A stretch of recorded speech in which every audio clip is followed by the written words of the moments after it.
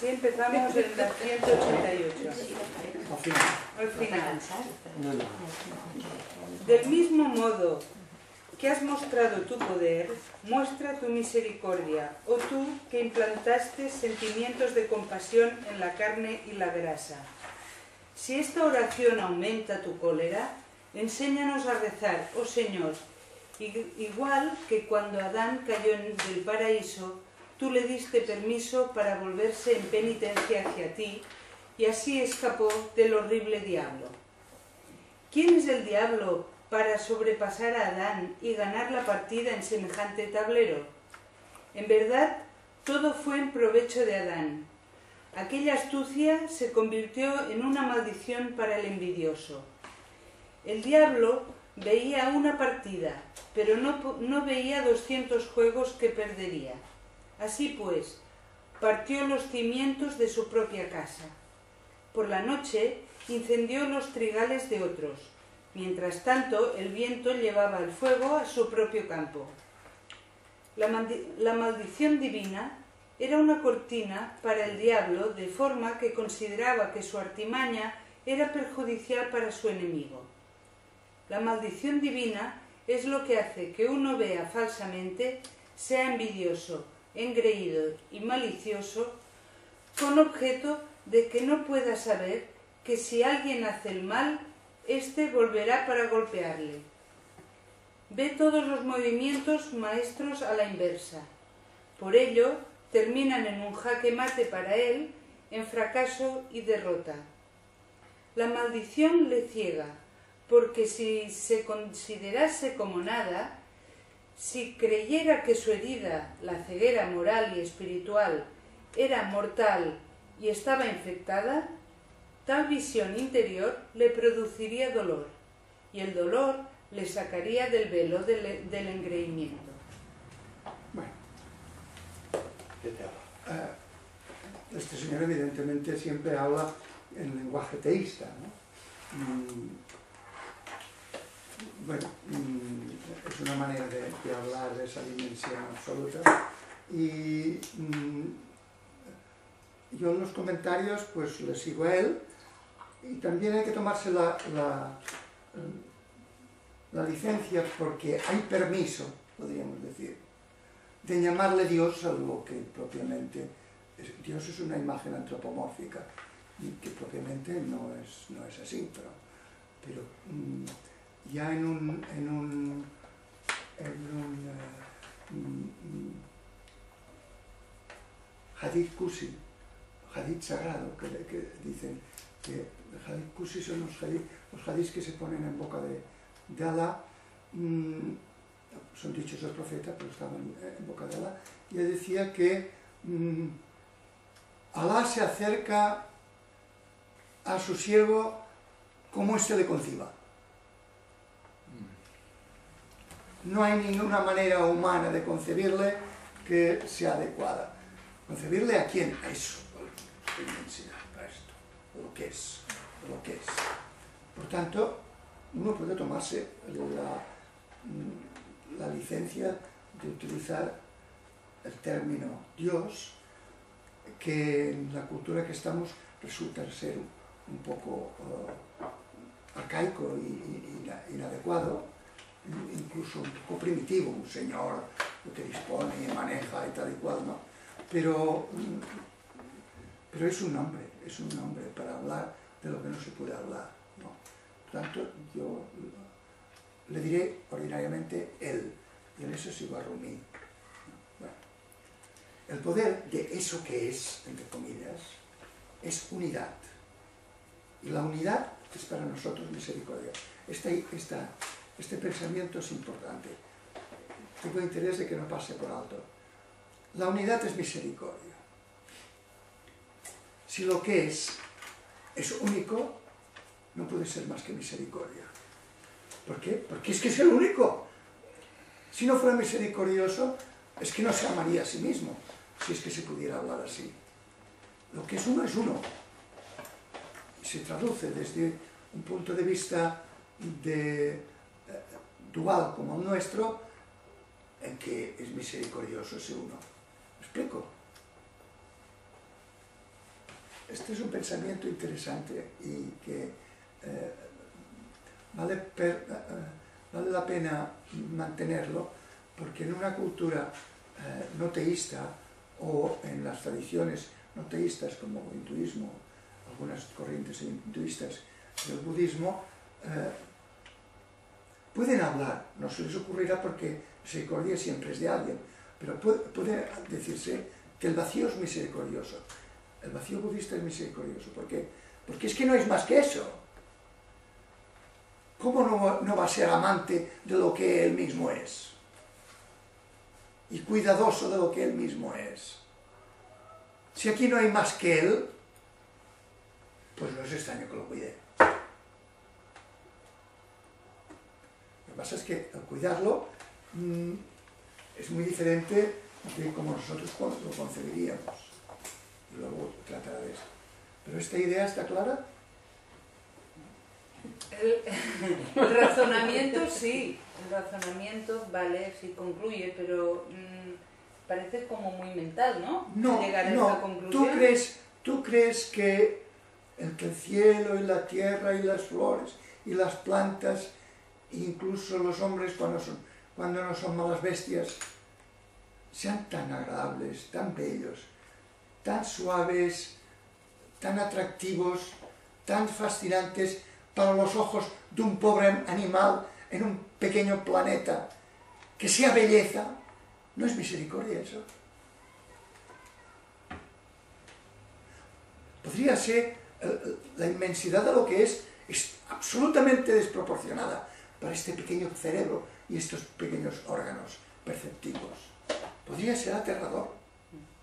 Y es seductor y amable. La belleza es como, el esplendor, la seducción de la verdad. Es misericordia. Que haya existencia y no existencia es un regalo. ¿Entiendes? No, no es meramente mental. Jamás. No,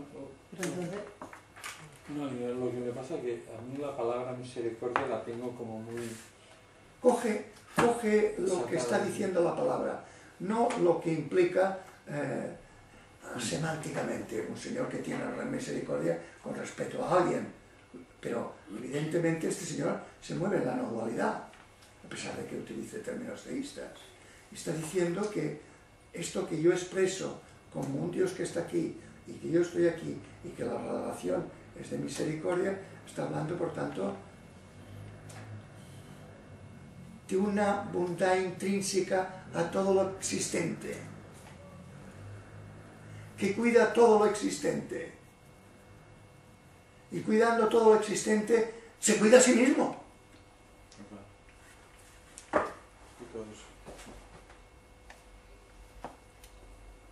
Esto que hace que si nosotros nos consideramos como alguien venido a este mundo, mm, el mundo es, mm,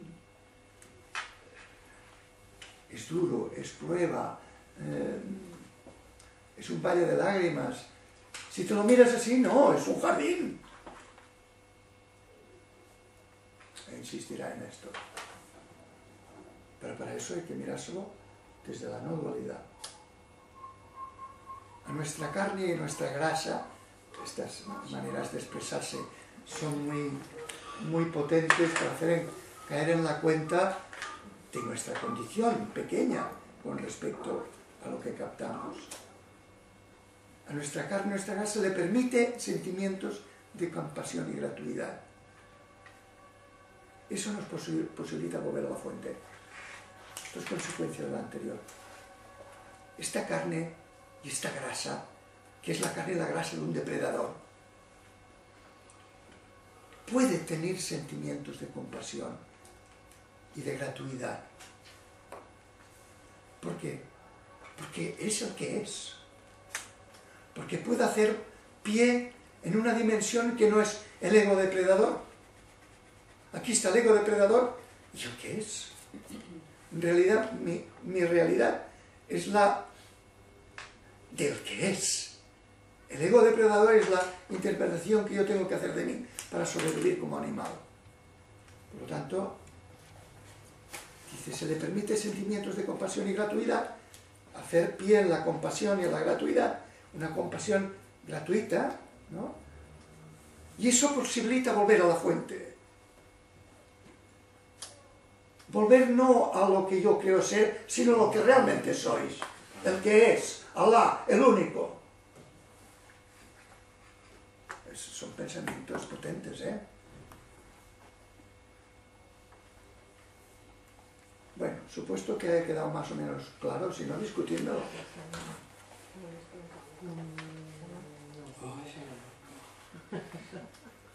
¿Qué pasa? Bueno,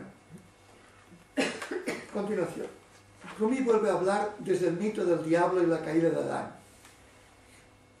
Y dice que la astucia del, del demonio recayó sobre él. Esto es interesante. Vio la partida, pero no vio las 200 jugadas. Quemó los trigales de otro, pero el viento llevó el fuego a sus propios trigales. ¿Qué significa? ¿Qué quiere significar con estas expresiones míticas? Vio la partida, vio la partida, la jugada, pero no las 200 jugadas. ¿Qué quiere decir? Estamos hablando en lenguaje mítico. El ego juega corto, está hablando de una especie de diálogo eh, del personaje con su propio ego. El ego es el que está haciendo el papel del demonio. Después lo veremos más claro. El ego juega corto. Y la, la luz, la luz que hay en mí, que no es la del ego, mm, tiene en cuenta las 200 jugadas.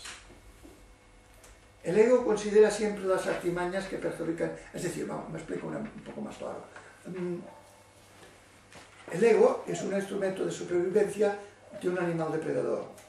Y el animal depredador, y por tanto el ego tiene que preocuparse qué tengo que comer mañana y pasado mañana.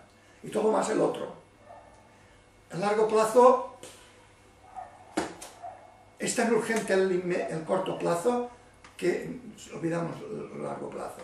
Fijaros, es así que las empresas calculan para cuatro años, los políticos para cuatro años, más allá, ya nada.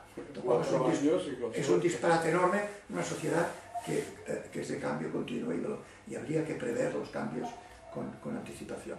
Es un disparate enorme, pero es así. Y esta es la condición del animal depredador y por tanto del ego juega corto.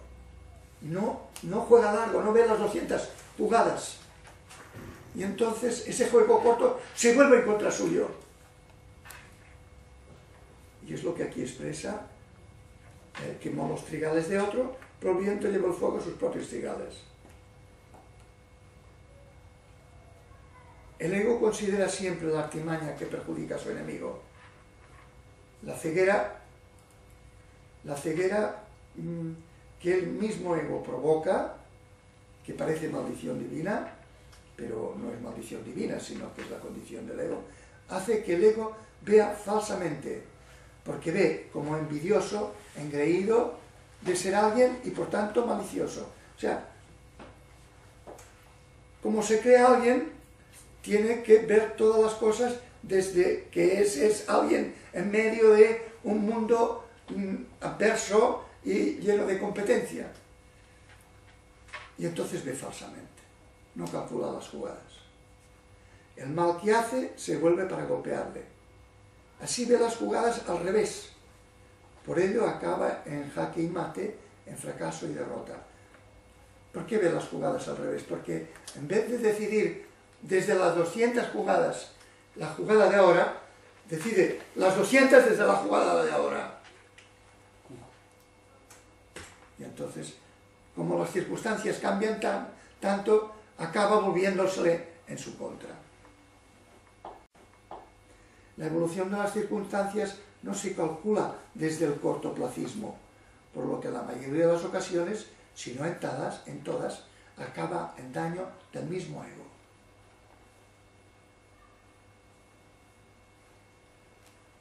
Se abandona su engreimiento.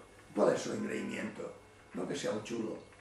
Su engreimiento es considerarse alguien, no considerarse nada. Si viera su herida mortal e infectada, que es creerse alguien, el dolor frente a su situación le arrancaría el velo de su soberbia. Las adversidades le arrancarían de el velo de su soberbia. El velo de su soberbia es creerse alguien venido a este mundo, cuando nadie viene a este mundo. Es este mundo. Sí, a menos de que haya objeciones. Es como decir que uno percibe la realidad desde la, desde la separatividad, o sea, vive la realidad desde la, desde la separación y no desde la unidad. Entonces, desde el momento, desde el primer momento, desde el momento que tenemos, sin, sin ver el, todo el, momento que significa que es más allá de lo que, que, que, yo percibo como yo, como identidad. ¿no? Sí, de hecho, de hecho eh, el Dios se concibe como separado. Y como separado eh, se piensa que Él ha venido a este mundo y hay, que hay un mundo que no es nada fácil y que es adverso muchas veces y, cree que es ser alguien y entonces desde ahí juzga y actúa, etcétera, y calcula las jugadas y eso es lo que, lo que le lleva al daño. La soberbia de creerse a alguien. Si supiera que no es un separado, lo vería todo diferente. Si viviéramos así también. Exactamente, no si lo viera vivir, quiero decir eso.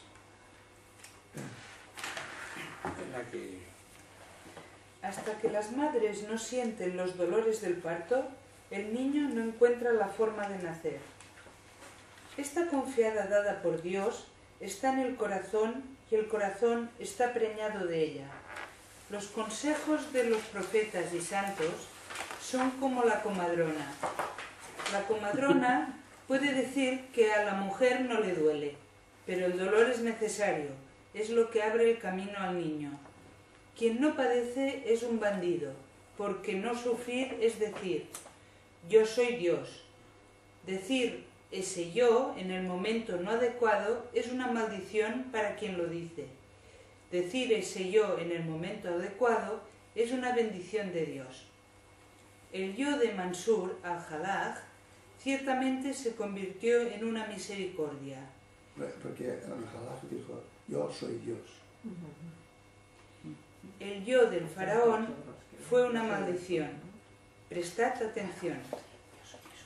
En consecuencia, nos incumbe decapitar a cada ave inoportuna, el gallo que canta demasiado pronto como advertencia. ¿Qué es decapitar? Matar el, el alma carnal en la guerra santa espiritual y renunciar al yo, igual que le quitarías el aguijón al escorpión para salvarlo de que lo maten, o extraerías el colmillo venenoso de la serpiente para evitarle la calamidad de ser lapidada. Nada matará el alma carnal salvo la sombra o protección del pir. Pir es el maestro. Aférrate con fuerza a la falda de ese matador de la carne. Si lo agarras fuertemente, es con su ayuda. Cualquier fuerza que tengas es el efecto de su atracción de ti hacia él. Hasta que las madres no sienten el dolor del parto, el niño no puede nacer. ¿Qué quiere decir con esto? Los, consejos de los santos y profetas son como la comadrona. Mm. Hacen sufrir. El dolor abre el camino al niño. Los duros consejos de los sabios abren a la vida, porque los duros consejos de los sabios eh, te arrancan de lo que es con natural a ti, que es creerte alguien y, actuar defendiéndote como alguien, y te llevan a que reconozcan que no es nadie, y eso eh, es duro. Eh, y para que salga esa unidad y, se acabe con la separación, es preciso seguir los, los duros consejos de los sabios. Después entra en... Hay dos formas de decir yo. Una de las formas lo dice sin sufrimiento, como quien dice, yo soy Dios, ¿no? Esto, la, la famosa frase de Al-Jala. La otra forma lo dice yo en el momento adecuado y en la perspectiva adecuada. El yo de Al-Jalaj se convirtió en misericordia, el yo de Faraón fue maldición. Mira bien cómo dices yo. Si das realidad a tu yo, eres como el faraón. Si comprendes su vacío de realidad, eres como Jalaj. La humildad, la humildad suma es la de Jalaj. Yo soy Dios, Dios es, yo no soy, yo soy Dios. En cambio el faraón, que él cree que es alguien, esté, mm, esté soberbio.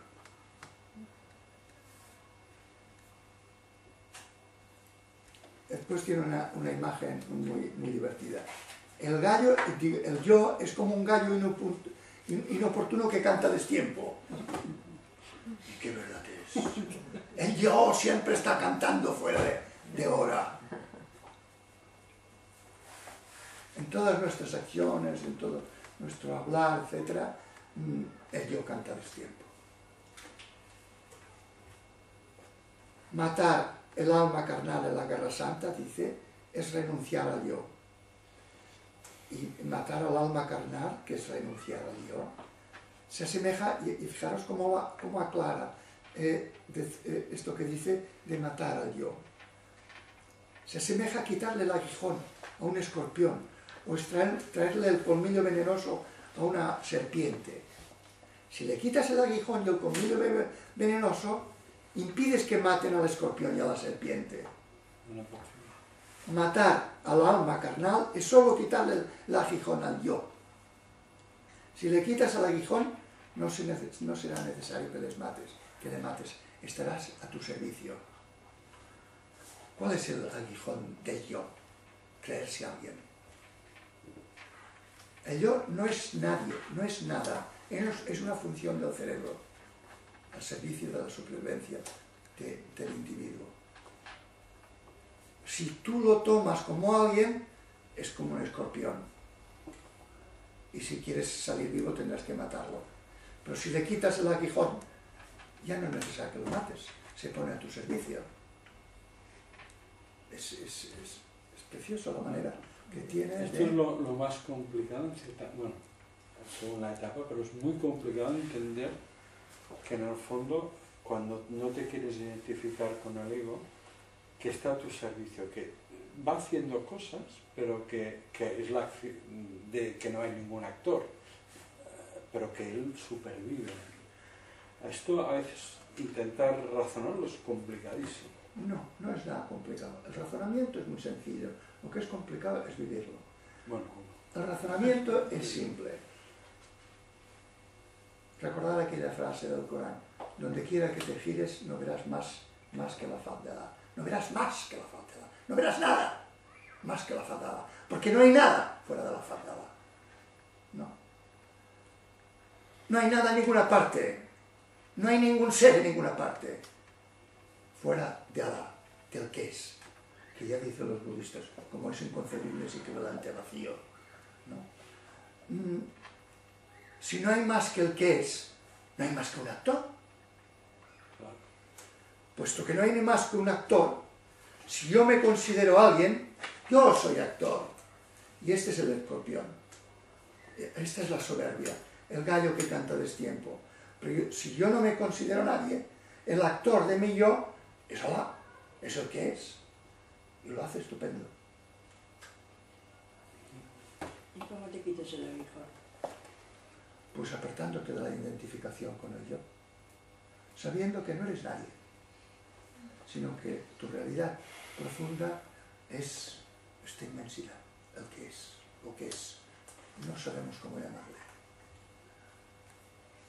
Eso es lo que somos. Lo otro son interpretaciones que, tenemos que hacer para sobrevivir en el medio. Para sobrevivir como animales yo tengo que interpretarme como un separado este, este, no sé si lo habías leído, pero es, es, de él el término.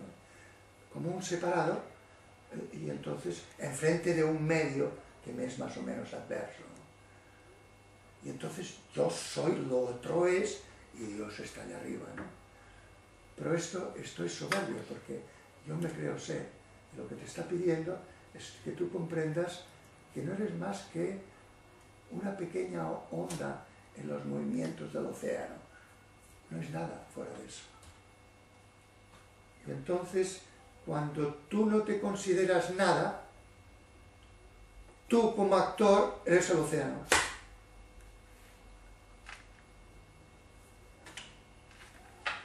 Y en realidad redunda en bien del yo.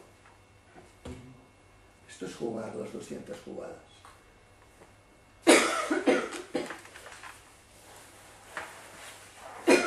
Nada somete al alma carnal. Otra idea importante. Fijaros que cada, cada párrafo da ideas sumamente eh, importantes. Nada somete al alma carnal si no es la sombra del maestro. Esto ya sabía el día pasado. La sombra del maestro somete al alma carnal. Libera del yo. Él muestra, él es la otra dimensión que, que hace, sombra, densa a esta dimensión, la dimensión que construye el yo. Agárrate con fuerza a su ropa, pero no podrás asirte de él si no es por la fuerza o la atracción que ejerce sobre ti. Esto, esto es importante. El maestro, un maestro vivo es difícil que lo encontréis, pero aquí tenéis uno.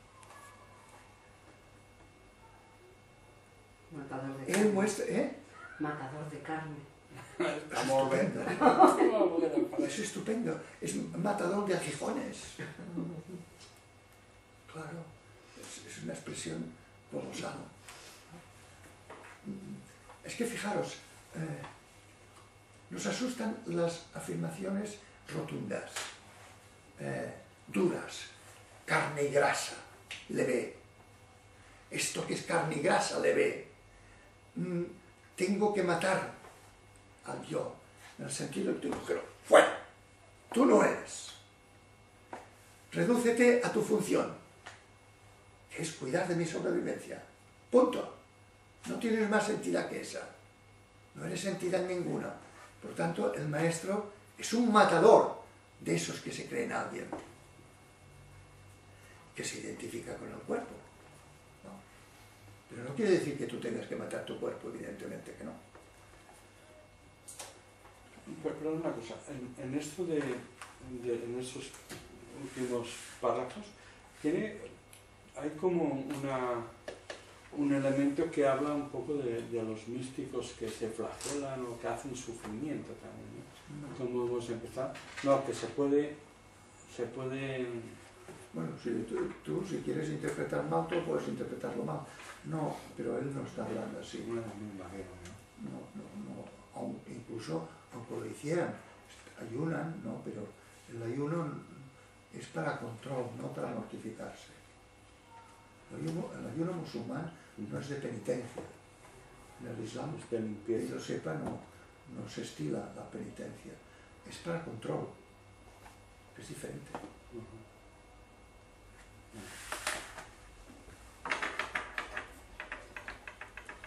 El maestro mue- muestra es la otra dimensión que hace sombra densa a esta dimensión, porque hace que la comprendas esa auténtica realidad.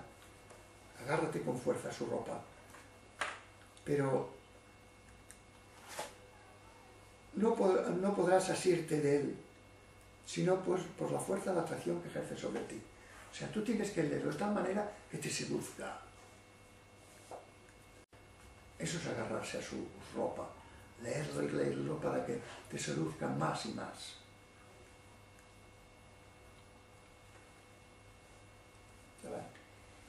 ¿Alguna dificultad aquí? Pues mira que es como para tener miles de dificultades. Sí, yo tendría, tengo varias, varias, varias cosas, no sé si vienen al caso. ¿Cómo, cómo piensa usted que ese, eh, que, mm, que es eh, eh, esta, como, como, como esta lucha, como esta disputa, ¿no? O sea, ¿cómo se juega con usted? O sea, ¿cómo se llega a esta disputa? esta disputa es Eh, entre ¿Desde la la entre la conciencia y el, y el yo. Sí. el poco de lucidez mental que tú tienes, analiza cómo funciona yo. Y entonces, claro que él, habla desde una concepción mitológica que existe un diablo. Existe un diablo.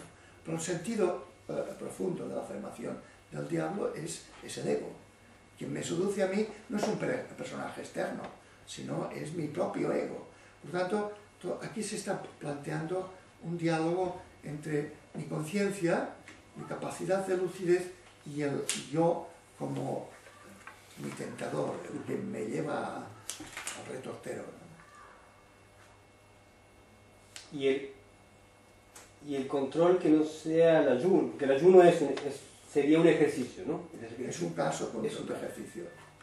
Pero no es necesario hacer eso. Sí, y, y, qué otra cosa además de un ayuno? porque me parece que a mí me, da la sensación de cuando uno, bueno, si uno aquí busca, eh, ¿desde qué lado lo puede hacer? Porque a lo mejor eh, o sea, existía la flagelación, ¿no? O sea, ¿Desde, qué lado? desde ese lado creo que no es, ¿no? Y desde el, no sé cómo explicarlo. es, como decir, es, como un, es como un partido de fútbol y jugar en campo enemigo, ¿no? Yo, yo sé. O sea, ¿desde qué lado juego? Me parece que quiere, sé, lo que quieres decir. ¿Desde dónde yo... O sea, yo tengo que luchar desde aquí. El yo, desde el yo tengo que deshacerme del yo.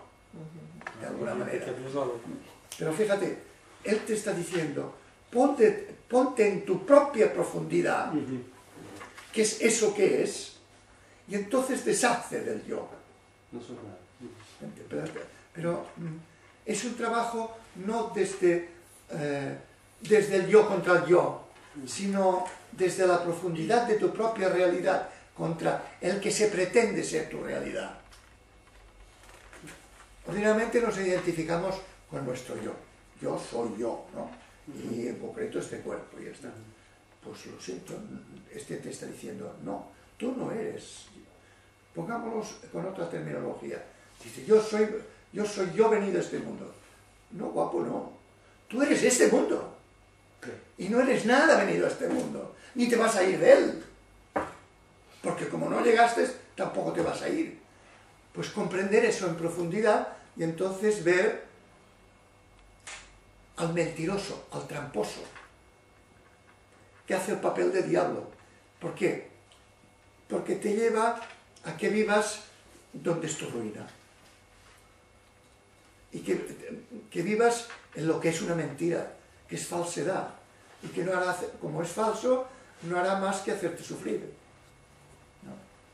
Desde el no trabajo, digo. ¿Eh? Desde el no trabajo. No, no, desde... desde eh, no, hay, esto, esto es digno de aclarar.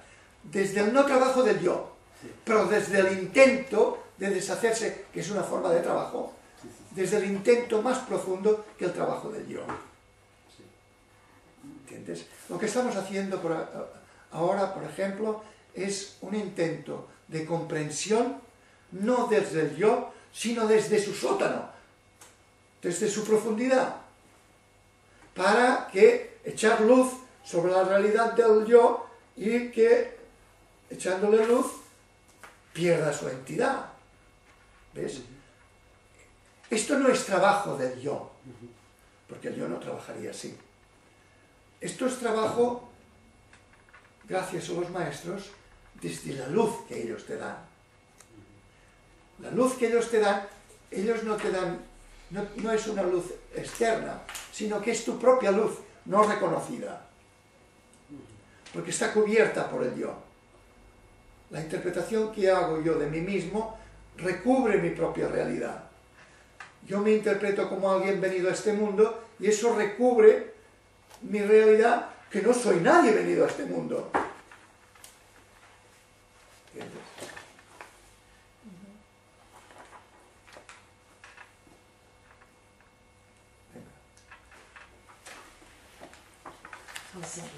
Sabe que es cierto la frase no tirabas tú cuando tiraste. Cualquier cosa... Esto se refiere a una frase del, del Corán que cuando le el arquero. el arquero no tiras tú cuando tiras. Cualquier cosa que siembre el alma es del alma del alma. ¿Ves? ¿Ves? Esto es lo que te decía. Es el alma del alma. Él es quien toma la mano para ayudar y llevar la carga. Ten esperanza a cada momento de recibir ese alimento inspirador de Él. No es perjudicial que hayas permanecido largo tiempo sin Él. Has leído que Él tarda en agarrar a los pecadores, aunque los agarra fuerte. Su misericordia tarda en asir, pero lo hace con fuerza. Su presencia no te mantiene ausente de Él ni un solo instante. Si quieres la explicación de esta unión de amistad, lee atentamente la Sura Wal Duha por la mañana.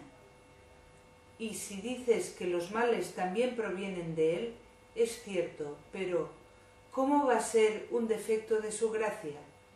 Otorgar este mal es incluso su perfección. Te contaré una parábola, oh respetado. Un pintor hizo dos tipos de cuadros, bellos y carentes de belleza. Pintó a José y a, y a hermosas Uríes. Dibujó a horribles efrits y diablos. Ambos tipos de pintura son muestra de su maestría. Los feos no son muestra de su fealdad, sino de su liberalidad. Hace a lo antiestético de una fealdad, extre de una fealdad extrema, investido de todo afeamiento para mostrar la perfección de su arte, y que el que niegue su maestría se avergüence. Sería deficiente en su arte si no pudiera pintar lo mal parecido. Por ello, Él, Dios, es el creador del infiel y del sincero. Desde este punto de vista, tanto la infidelidad como la fe dan testimonio de Él. Ambas se inclinan en adoración ante su señorío. Pero has de saber que el fiel se postra de buena gana, porque busca el placer de Dios y es tal su finalidad. El infiel también adora a Dios, pero involuntariamente. Su meta es otro objeto de deseo. Es cierto que mantiene en buenas condiciones la fortaleza del rey, pero afirma estar al mando. Se ha convertido en un rebelde, para que sea su dominio. La verdad es que al final la fortaleza pertenece al rey. El creyente fiel mantiene el fortín por amor al rey, no por posición y poder.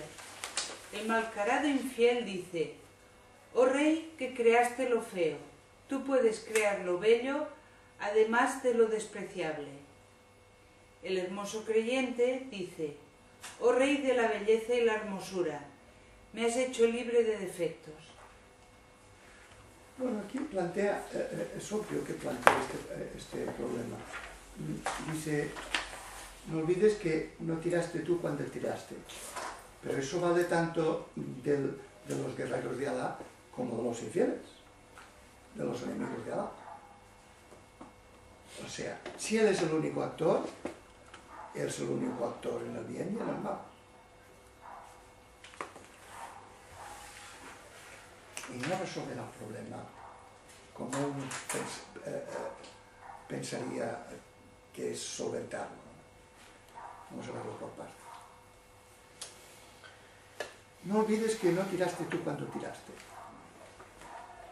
Lo que siembra el alma, en este caso, lo que siembra el ego, cuando siembra semilla buena, viene del alma del alma, viene del alma del ego, no, no viene del ego, viene más, más allá del ego. Lo que viene del ego vuelve al ego y lo reafirma. Por lo tanto, el intento de hacer el camino espiritual viene de más allá del ego. Y esto es lo que las tradiciones teístas dicen de la gracia de Dios. Viene de un lugar más hondo que el propio ego. Él toma tu mano y, lleva la carga, porque Él es el único actor. Él es el, es el aliento que te mueve. Eso es, eso que es, tarda en asir, pero cuando lo hace, lo hace con fuerza.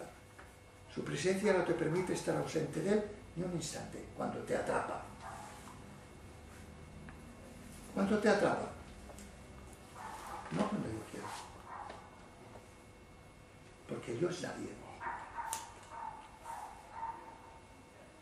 También las- los males provienen de Él, dice el texto, pero no por eso hay defecto en su perfección. Vale, maestro, sí que me lo ha solventado bien, ¿no?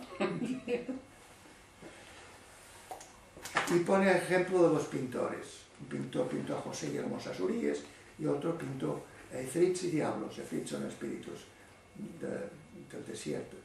Ambos tipos de cuadros muestran su maestría. Pinta lo feo en su extrema fealdad para mostrar la perfección de su arte. Sería mal pintor si no pudiera pintar lo, más pare- eh, lo mal parecido. Él es el creador del fiel y, y- y del sincero.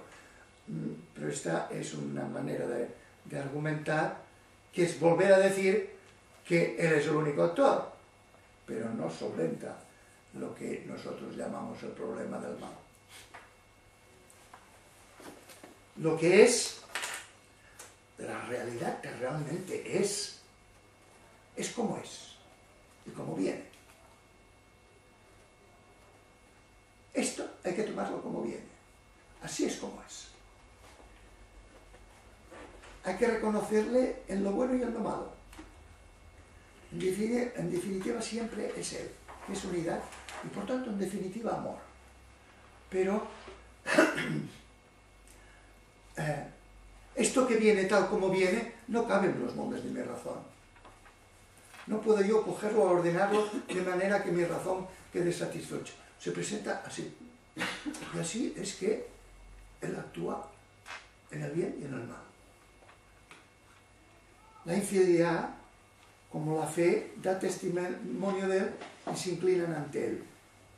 Uno se postra ante el que es voluntariamente y el otro se postra involuntariamente. Al final todos tenemos que, que bajar la cabeza y reconocer que somos nadie. Sin caja de pino o en caja de pino. Todos lo tenemos que reconocer. Al final bajamos la cabeza. O te vuelves roca o te estrellas contra la roca.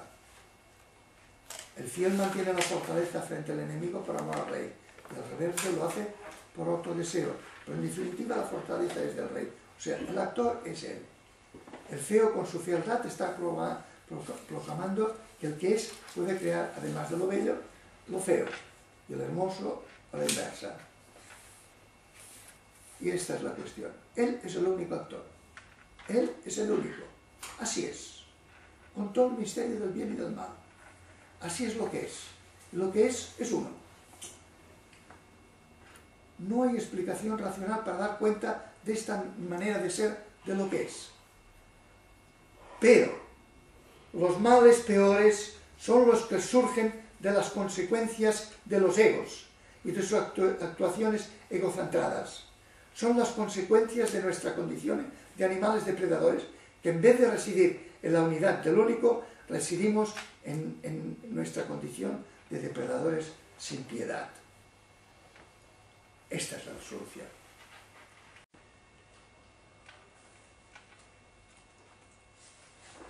El volcán de hierro es él.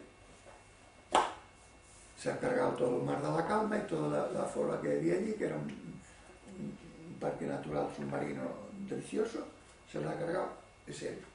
Hay muchos, hay muchos males que vienen de la naturaleza y vienen pues de nuestra condición animal, etc. Y así es como es lo que es. Así es como es lo que es. Y así es, el único es así. Se presenta así y solamente así podemos verlo. Pero hemos de tener en cuenta que hay cosas que no se pueden, eh, no se le pueden colgar a él del todo. Digo del todo. Porque son consecuencias de nuestros egos. Ahora, él es mi realidad. Y por tanto, cuando yo soy un, un depredador inmisericordia, podríamos decir que él es el, el depredador inmisericordia. Pero de lo que, de lo único que podríamos decir que él es culpable, si es que se pudiera hablar así, es de que me ha hecho a mí, que me ha hecho, que se manifiesta en, en este animal depredador. Y el, hecho de que se manifieste este animal depredador, pues tiene, tiene la consecuencia que yo, en vez de reconocer de mi realidad y ser sabio, no la reconozco, soy ignorante. Y entonces, actuando como ignorante, creo mal. Pero ese mal mm, no surge de otra fuente que de él, pero surge de mi ignorancia. Esto es difícil de, expresar. Aquí no hay nadie, solo él es el actor. Pero aquí hay la posibilidad de ser sabio o no serlo. La humanidad como especie tiene la posibilidad de ser una humanidad sabia o ser unos depredadores sin misericordias. Esto está en la naturaleza de ser humanos. Por tanto, aunque los humanos no son nadie, la ignorancia sí que puede hacer daños como si fueran alguien. Y así es como es la realidad. No sé si queda muy claro. No, es- no es la no puede quedar. no es la misma, a ver, de la misma moneda una cara u otra. Una es eso que estás explicando, la, la parte que solo hay uno, pero que potencial del hombre para hacer daño, para entenderlo, ver el mal. Y la otra es ver la belleza, es lo mismo, la misericordia por un lado y el mal por el otro. Sí. Serían dos caras de la misma moneda. Son dos caras de la misma moneda. Eh, si tú no te reconoces, eh, eres un depredador y vives en un infierno, después hablará. Vives en un, un infierno, porque vives del dolor, temor, las expectativas que no se cumplen, etcétera, etcétera. Pides nacer y morir, pero si tú no eres ignorante, entonces vives como el único, tienes reconoces que es el único actor y entonces vives en, el jardín. Una y otra cosa es él. Y no hay nada añadido. Pero por decirlo así, eh, en un caso permite que él echarse un velo y en el otro no. ¿Por qué? Lo único que podemos contestar es que el haberse manifestado un animal tiene estas consecuencias.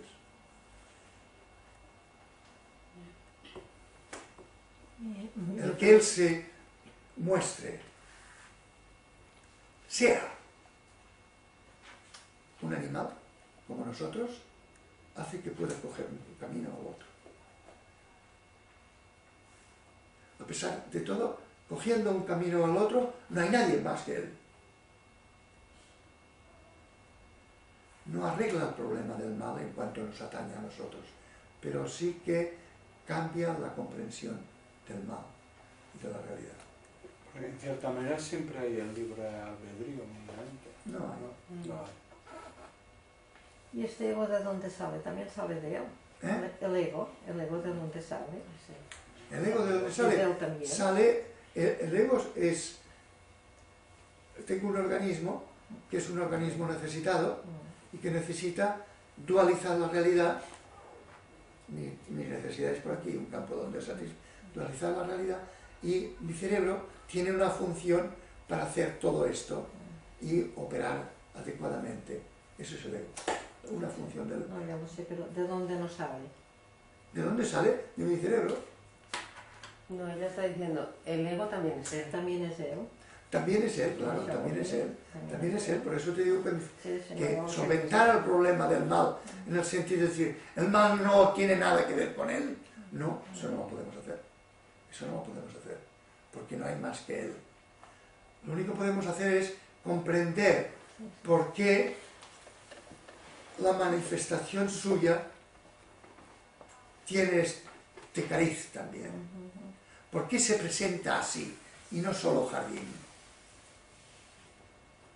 Y lo que podemos decir se presenta así porque se presenta en una condición animal.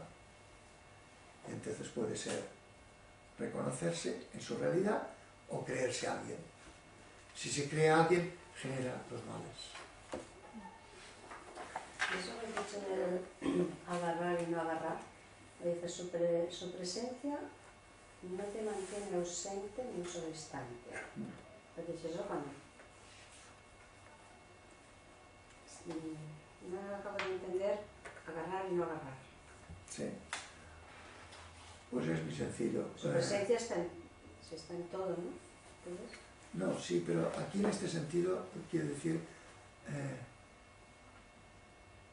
que pe- pega un soplido a la nube de tu ignorancia o no lo pega. Sin que se pueda decir, fíjate, esto es, esto es un lenguaje, esto es un lenguaje dual, mm, en que hay un Dios que sopla y tú que te... ¿no? Un- hay que concebirlo sin dualidad ninguna. ¿Qué quiere decir que te agarre? Que tú tengas la lucidez suficiente para comprender tu realidad y de ahí ya no, no, no te escaparás. Si tú comprendes en toda su radicalidad que en ti no hay nadie, te han agarrado para siempre. Si lo comprendes como un momento de luz y se te va y vuelves a ser eh, la Teresa funcionando y, y- vuelves a tener un momento de luz, la Teresa funcionando, no te ha agarrado. Si tú a base de la luz del maestro lo meditas y lo meditas y lo meditas hasta que te das cuenta con tu mente y con tu carne de aquí que no hay nadie, ya te ha agarrado. se podría decir de todo lo que estamos haciendo que es como si eso que es eh, estuviera queriendo reconocerse a sí mismo de alguna manera. Se puede decir Como así. que, como que, que- que- Se puede decir así, pero se- se- sería un- una manera de decir solo metafórica, porque eh, los, los, eh, budistas ya dicen que él no es consciente de sí mismo. Fíjate, que la realidad absoluta no es consciente de sí mismo. ¿Por qué? ¿Por qué dicen eso? Porque para ser consciente de sí mismo hay que hacer un juego dual, un movimiento reflejo. Hay que hacer un, un movimiento de dualidad. Él es consciente de sí mismo desde la unidad, sin que haya la menor fisura. Por tanto, cuando tú llegues a la iluminación, tú no serás consciente de esa iluminación, porque estarás tan sumida en la unidad que no habrá dualidad ninguna. ¿Comprendes? Y, por tanto, metafóricamente sí que se puede decir que él se libera a sí mismo. Estaba intentando eh, querer mm, todos esos aspectos que vemos o que vivimos o sentimos como negatividades, si pertenecen a él, está él. Pertenecen, son él. Son él. De alguna manera, es él que está también en proceso de... No, es, De, de, de- de- ¿De mejorar? De mejorar. Vale, yo sería claro. Y hay, ya ha habido herejes que lo han interpretado así, vigila. Pero yo es- claro, sí, esto es él y esto es él, pero este mm, está obrando desde la ignorancia y el otro no, Pero pues ¿cómo va, decir ¿cómo va a mejorar si no puede añadir nada? que va a mejorar, por decir, de alguna manera hay que hablar. y si él Sí, pero que no te, no te coja la trampa del hablar. Lo que es único no tiene ningunas partes, es, eh, no- no- ¿que va a mejorar qué? ¿Con, con qué va a mejorar? Ya, pero si ese que está haciendo maldades es él también, no pero pues de alguna manera no, sería el eh, porque el ego es él negando a él. No sería algo así O O sea, separándose de o sea, negándose El ego es él es Eh, él pero negándose a él negando ser él y por tanto se niega eh, a, a- a sí- a sí mismo. Sí. Sí, sí, pero con esto no solventarías la dificultad que pone ella. Mm, eh, es que fíjate, nuestro pensamiento es dual. Y todo intento de enmarcar lo que estamos diciendo aquí en un pensamiento dual se pega contra la pared, no hay manera. Él no mejora. Para mejorar hay que adquirir algo que no tienes. ¿Qué va a adquirir? ¿Qué hay fuera de él? Si eso es único, para mejorar tendría que adquirir algo que no tiene y que por tanto estaría fuera. No cabe mejorar. son, son cosas que no En, en propiedad, propiedad, ni bien ni mal. Ya. Ni bien ni mal. Esto ya lo entiendo más, pero si yo digo que si, si él está en mí como ignorante, pongamos por caso, pongo mi caso, pues está en mí como ignorante, No estás sola. Bueno, digamos, muy yo ignorante. digo, la manera de yo entenderlo, a ver cómo me agarra, pues es que, que yo no sé cómo decirlo. Es, mira, ello- ello- las tradiciones orientales tienen una manera de solventar esta, de esta dificultad con, un- con una metáfora, con, con un símil. Tú lo único cosa que harías es- sería despertar. Mm. No mejoras ni peoras, despiertas. Por tanto, Todo mm, eh, podríamos decir, hablando en metáfora, que él es, y tiene algunas partes que están dormiditas y que se despiertan. Pero fíjate, fíjate que tú cuando despiertas no adquieres ni pierdes nada, porque es que, es que lo que habías eh, creído o pensado y respecto a lo cual tú hablabas de mejorar, es que no era. No, en eso estoy de acuerdo. Pero si ese está dormido te lleva a hacer maldades, ya no es lo mismo, porque claro, una cosa es Es que las digas, maldades son igual, son un sueño, no son. "No, díselo al que le tocan. ¿Quién es? Los Bueno, pero es que tienes que mirarlo. No, tú, fíjate, esto es caer en la trampa del pensamiento dual. Tú dices, sí, pero el que le toca, pero el que le toca, si fuera sabio, se tendría que dar cuenta, y tú respecto al que le toca, que esto es como un, como un mal sueño. Porque no, no es, no es un juego de realidad. Pasa es que es un juego de sufrimiento mientras tú estás metido en el sueño. Pongo un caso. Eh, mm, imagínate que tú, eh, que seguramente no es el caso, cuando eras una mocita de 18 años, pues te hacías unos, unos sueños y unas, unas fantasías y, bueno, te hacías unos proyectos y ves el mundo de las maneras y, y claro, eh, a medida que iba pasando el tiempo, la realidad te iba dando bofetadas, ¿no? Mm, Y luego llegas a la edad que tienes o, o incluso antes y dices, estuve sufriendo por nada, en un sueño. Pues es así esto. Así es la vida. Y así es la historia de la humanidad. Sufriendo por nada. En un sueño, por, por incapaces de reconocer lo que realmente es, incapaces de despertar. Esto es lo mismo que tus expresiones, es una, es una manera de hablar de lo que no se puede hablar. Pero son maneras de hablar para intentar comprender aquello, acercarse a la comprensión o apuntarla eh, de aquello de lo que no se puede hablar propiamente. ¿Vale? Això del, de l'agarrar, En castellano. ai, perdona, el su, misericordia tarda en asir, esto sería lo que em, se, se denomina gracia, la gracia, o sea, el, Sí. el asir es la gracia. Sí. ¿Puedes comentar el final que dice, el malcarado infiel dice, oh rey, que creaste lo feo, tú puedes crear lo bello, además de lo despreciable. O sea, parece como que el infiel le hace una un reclamo, ¿no? Le No. reclama. Espera, espera, termino y, y, el, y en cambio el, el creyente le dice, oh rey de la belleza y la hermosura, me has hecho libre de defectos. Es que aquí está diciendo, el, el, el malcarado infiel, con su ser malcarado infiel, está diciendo, tú lo mismo que creas la, la fealdad, puedes crear la belleza. No que él se lo diga a Dios, sino que él lo está proclamando. ¿Entiendes qué quiero decir?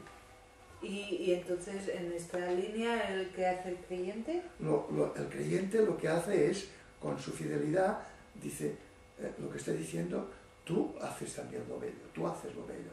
O sea que uno con su comportamiento eh, manifiesta, y lo pone como si lo dijera, si lo, si lo dijera Dios, manifiesta una dimensión de su manifestación en el mal y otro en el bien. en la belleza y en la fealdad. Así es como viene y, un- y así es como viene y todo lo que viene lo dice y lo feo lo dice de una manera y lo guapo de otra, lo ignorante de una manera y lo sabio de otra, pero siempre se está diciendo lo mismo. Para quien reconoce, para quien no vive en el sueño, para quien vive en el sueño, pues hay feos y guapos y, y buenos y malos. Por eso, por eso tú antes lo has empezado a decir al principio que hay que aceptar las cosas tal como vienen, ¿no? Y lo decías en el libro de, de, de no sé qué de los límites, ¿cómo se llama? Más allá de los límites. Más allá de los límites lo dices muchas veces. Sí. Por esto, ¿no? Por esto Sí, que sí, dices. es que- Porque tú quieres ver a Dios, inmediatamente con estos ojos de carne y grasa, míralo como viene, viene así, lleno de hijos de su madre. Lo que no quiere decir que como, como animal depredador o animal que eres, intentes que las cosas No, no, vayan no, por donde que ir. Esto es otra cosa, esto es otra cosa, pero eh, Mientras no seas tú el actor, que dejes que actúe. y eh, además es que de- si miras las cosas desde esta perspectiva, acabas comprendiendo que todo el mal es ignorancia, y solo ignorancia. que el mal es ignorancia y miedo. De la ignorancia sale el miedo y de ahí sale la agresividad y salen todos los males. Y, y entonces, si tú ves el trasfondo de ignorancia y de miedo, ignorancia porque se crea alguien, y al crearse alguien está lleno de, está hasta los topes de miedo. Y el que está lleno de miedo ataca. Y por tanto, le, le ves la trampa al mal. esto que ha dicho él, lo puedes explicar un poco más, que ha dicho esto es otra cosa. Eso, el yo tengo un poco de conflicto en, esto, en aceptar lo que viene, pero lo que puedes cambiar, cámbialo, pero ¿dónde, ¿cómo puedes explicarlo un poco más? Esto sí, porque, porque mm, él viene así. Y no hay otro actor que él. Por tanto, si lo hace así, porque quiere. Bueno, porque quiere. Esto es también una manera de hablar antropomorfa. Es así, lo que es, lo que es es así y punto, y se acabó. Y tú eres en esto, ¿no? Y ves que este está sufriendo y si tú tienes la posibilidad de arreglarlo, lo arreglas, porque es que tú eres eso y, estás, eres, eres su misericordia, eres tú. Y por tanto lo que esté en tu mano, eh, convertirlo en jardín y no en infierno lo arreglarás. Es... Dicho más, más rudamente, tú actúas, de- actúas desde dentro, porque no, es, no eres otro. Y actuando desde dentro, pues mm, tenderás a que todo sea jardín, porque como eh, el actuar desde dentro es humildad y es amor y es misericordia, tenderás a que todo sea jardín. Y como que no te obnubila, obnubila el creerte a alguien, pues no harás más que bien, misericordia. Eso sería un poco el karma yoga, ¿no? Trabajar así Claro, sin claro, esperar exacto, que salga bien. exactamente, sí, sí. A- Aparte me parece que a la larga te va quedando una sensación que cada vez disfrutas o encuentras calma o, o felicidad, entre comillas, No, sí, Eh, co- comillas. En, en- en las cosas... Porque hay que ponerle comillas a la felicidad. No, pero bueno, es aquello que... bueno, en, en aquellas cosas que realmente no son la propaganda ni lo que te incitan a consumir, etc. En cosas cada vez más sencillas. Mm. Y vas descubriendo que cada vez no eres tú solo que te pasa esto, sino que hay gente que cuando te quiere dar algo te da un libro de poesía, o sea que entra en esta sutileza de, de- de contemplar el mundo. ¿no? De Bueno, que no- Y entonces lo lógico sería que fueras a tu vecino, oye, mira, lee esta poesía, a ver si no vives en la luna. Se me está ocurriendo, no sé, es un disparate, pero, pero no No te prives, no. Estaba pensando que muchas de estas cosas no es de alguna manera mejorar las condiciones del sueño, o sea, hacer un sueño como más apacible. Sí, sí. Eh, Dos cosas es, hacer un, primero, hacerle a los otros un sueño Sí, más apacible. más apacible. Y ayudar, ayudarles a despertar. El servicio más grande que podemos hacer, el más grande, con mucho, es ayudarles a despertar. Si no pueden despertar, por lo menos les quitas, haces lo posible para eliminar una pesadilla, que no es poco. Siempre tenemos una, pequeña solución cuando no sabes qué hacer. Recomendar unos libros como del María Curvi, que va muy bien. No quiero esta idea porque al, al pensarlo, eh, al menos a mí, me crea también como un desapego de aquella acción que, que a veces que hay que hacer, ¿no? Para que la cosa vaya mejor y tal. Entonces de pronto me pensaba, bueno, claro, no deja de ser parte del, del sueño, ¿no? Es que fíjate entonces, te ayuda un poco a... Fíjate, entonces, por lo que te decía a ti, te entregas con más, eh, con más radicalidad, sin condiciones, pero tranquilo. Al fin y al cabo es un sueño. claro. Sí, el problema es que no, no- a ti no, no te subleve ni, ni te modifique la actitud de observador, digamos, y, de, y, de- y- y que dejes que actúen las cosas. Esto me recuerda a un chiste, ay perdona, Sí, no, no. un chiste que decía un señor eso que, que todo se lo toma para la tremenda y ver todos los males siempre estaba Dios mío, pero ¿cómo permites esto? Pero por favor, pero, pero haz algo. Y al final oye una voz que dice, ya lo hice, te hice a ti.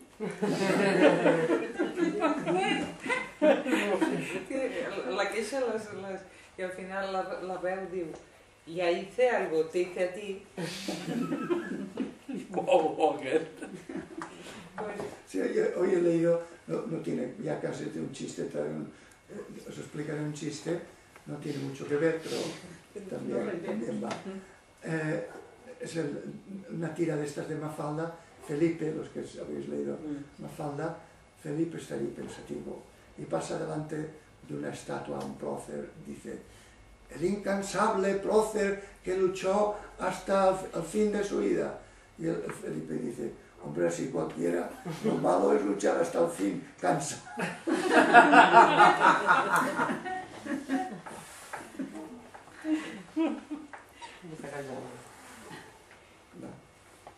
Esto del sueño me ha recordado una cosa del yoga bajista que digo, en el bajista se dice que se confunde la realidad, o sea, una cuerda eh, se interpreta como una serpiente.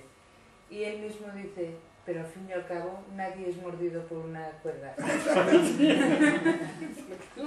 A nadie le muerde una cuerda.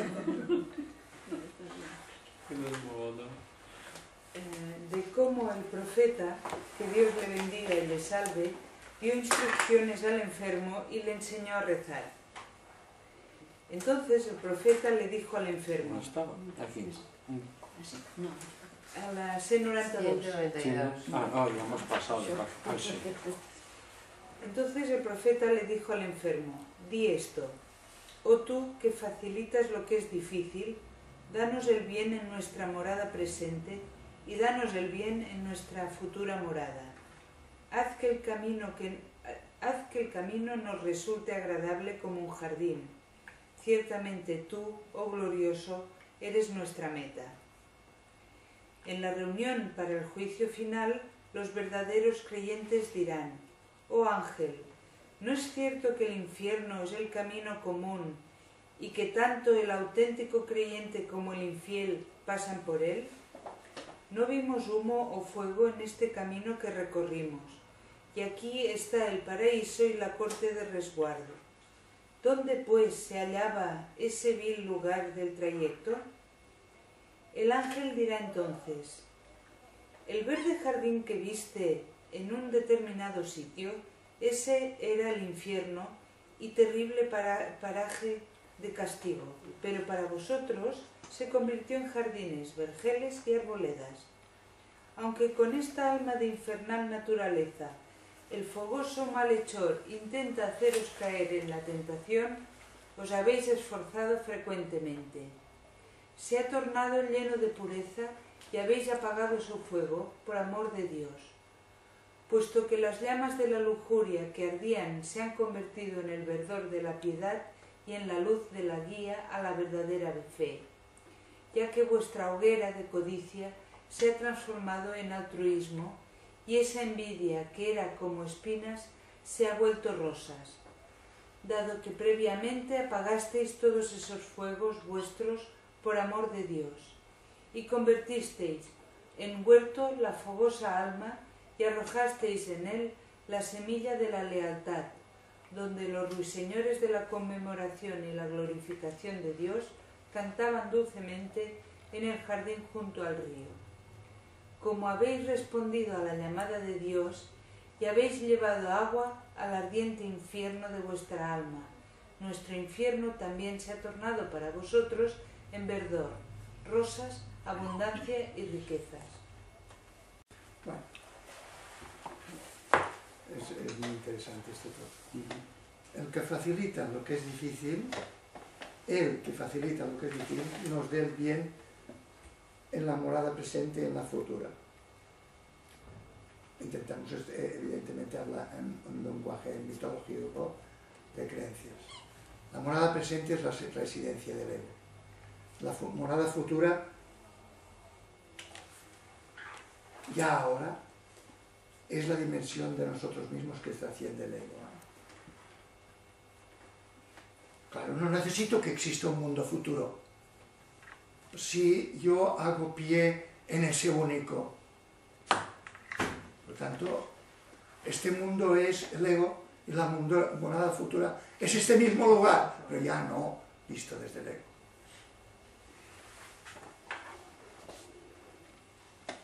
Que el camino nos resulte agradar como un jardín porque Él es nuestra amante. Y ahora vienen las consideraciones importantes. El infierno es el camino común a los humanos, buenos y malos, porque todos caminamos sometidos al ego. Mientras caminamos guiados por el deseo, nos parece un, un jardín, un verde jardín, porque no vemos ni el humo ni el fuego. El infierno es el ego,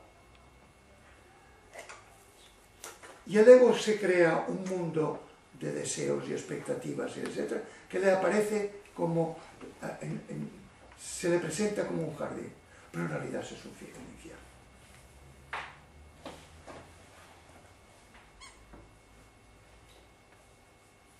Nuestros deseos y expectativas nos lo representan como un jardín.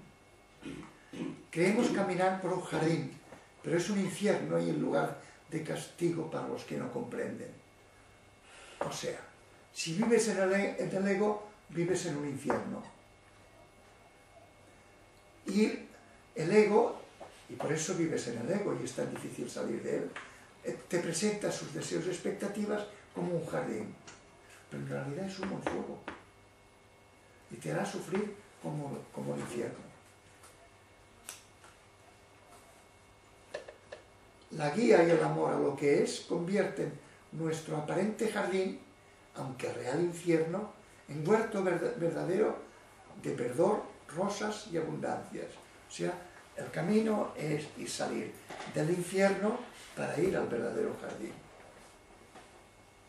El amor a eso, a Dios, que es el amor al único, a la unidad, ha apagado nuestro fuego, ha convertido la- las llamas de la lujuria en verdor de piedad, nuestra hoguera de codicia en altruismo, las espinas de la envidia en rosas, nuestra arrogancia en lealtad. Donde se apaga el fuego del infierno que enciende el yo, los ruiseñores del con reconocimiento cantan jun- junto a las aguas de la vida. La idea es estupenda. Y esto está diciendo la misma idea que el budismo, pero en imágenes poéticas. La raíz de todo sufrimiento es el ego. Y la, ra- la raíz de toda la construcción de infierno que hace el ego es el deseo. El deseo construye el mundo que es un mundo de dolor. Y el deseo es la estructura fundamental del ego. Por tanto, el deseo construye un mundo de dolor que es en realidad un infierno, aunque lo presenta atractivo como un jardín. Y vas a cada rosa y acaba eh, siendo un escorpión que te pica la nariz. Y así sucesivamente hasta que al final te entierran. Te has pasado la vida en un infierno creyendo en todo momento que era jardín. En este momento no, pero es que la próxima vez sí que lo será. La próxima vez estará pues que hasta que llega el desengaño último, que es que no hay más que infierno. Pues esto si uno lo piensa en serio, le puede cambiar la manera de vivir.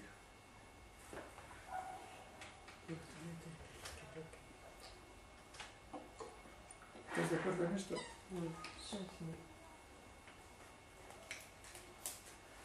Es un pensamiento sencillo pero muy difícil de aceptar de fondo. Que no otros.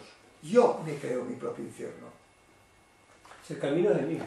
¿Mm? El camino es uno. Es un camino, hay un solo camino. El camino de la vida. Aquí está diciendo tanto los buenos como los malos. Pasamos por ahí. Unos se salen del infierno y se van al jardín y otros se quedan el infierno. Pues eh, este es el camino que todo animal viviente tiene que pasar. Supuesto que yo como animal viviente tengo que tener un ego y eh, un ego como estructura de deseos, tengo la tendencia a crear un jardín para esa estructura de deseos, pero que en realidad es un infierno. No, no me acuerdo en qué pasaje, pero en, hay un, en el Nuevo Testamento Jesucristo, aparte me parece que lo dice más de una vez, dice que el que tenga que hacer cosas en este mundo no conocerá al Padre. Te lo deja claro si estás apegado con tus deseos. Así lo claro, sí. Sí, sí. Que Jesús no hablaría nunca así en esta, en esta, esta terminología, pero viene a decir lo mismo. Bueno, pues acabaríamos aquí si no tenéis ninguna cuestión más. Bueno, no es cuestión, es una frase que a mí me... Yo no sé de dónde la leí, pero que me, me es muy sugerente. Es medio chiste y medio... dice, Nadie es feliz. ¿Pero quién quiere ser nadie?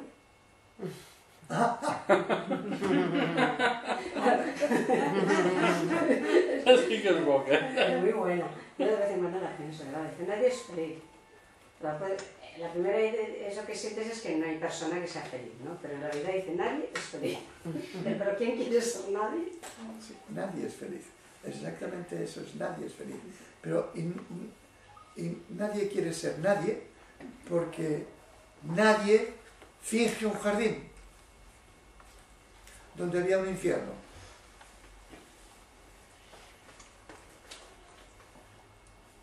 Y esta, esta es la, la imagen que él pone.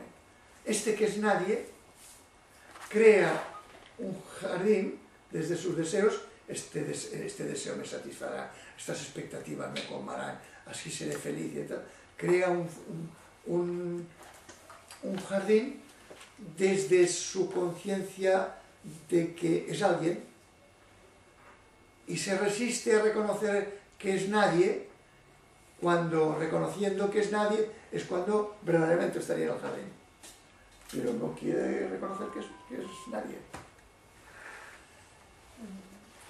Muchísimo reconocer que no tienes ni la más mínima importancia.